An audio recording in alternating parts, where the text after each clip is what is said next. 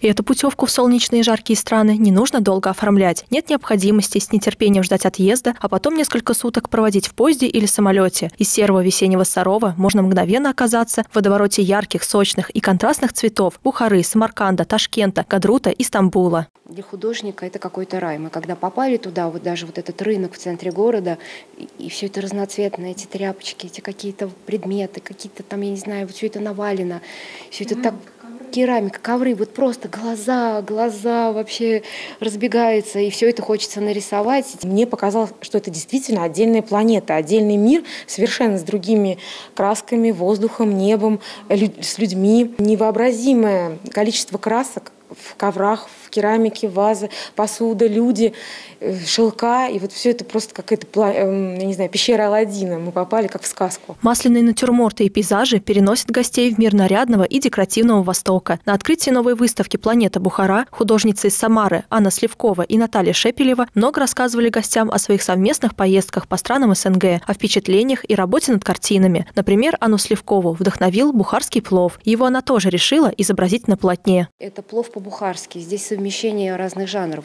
Здесь есть и натюрморт, и не знаю, интерьер и фигуры.